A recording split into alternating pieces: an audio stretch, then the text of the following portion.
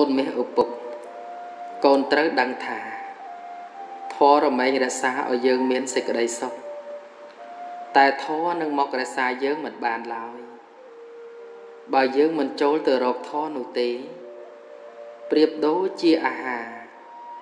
នឹងមកឲ្យយើងឆ្អែតមិនបានដោយពិតបើយើងមិនទៅបរិភោគនៅអាហារនោះនោះទេយ៉ាងណាមិញ ធម៌ក៏យ៉ាងនោះដែរ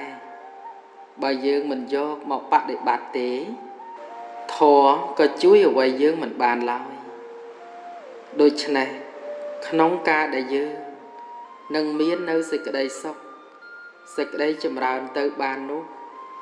ក៏ព្រោះតែយើងបានបដិបត្តិពោលគឺអនុវត្តតាម នៅធម៌របស់ព្រះសម្មាសម្ពុទ្ធនឹងឯង ធម៌ជារបស់ចាំបាច់ក្រៃលែងជាងអាហារក្រៃលែងជាងខ្យល់អាកាស និងក្រៃលែងជាងអ្វីអ្វីទាំងអស់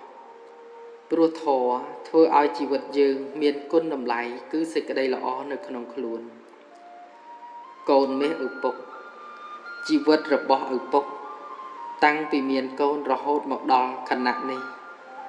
សេចក្តីប្រាថ្នារបស់ឪពុក ដែលមានចំពោះកូនគឺ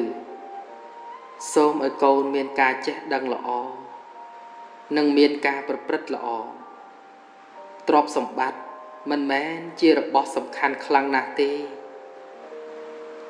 ក្នុងកាលដែលឪពុកម្ដាយចែកឲ្យកូននោះ តែការចេះដឹងល្អ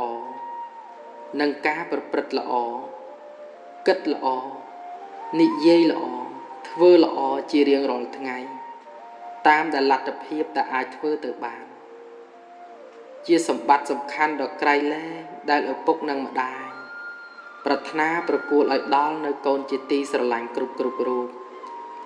និងជាទីពេញចិត្តរហូតតរៀងទៅបើកូនធ្វើតាមបាន ពាក្យដែលឪពុកនិងម្ដាយណែនាំផលនឹងកើតបានជាគុណតម្លៃនិងជាសេចក្តីសុខឲ្យដល់កូន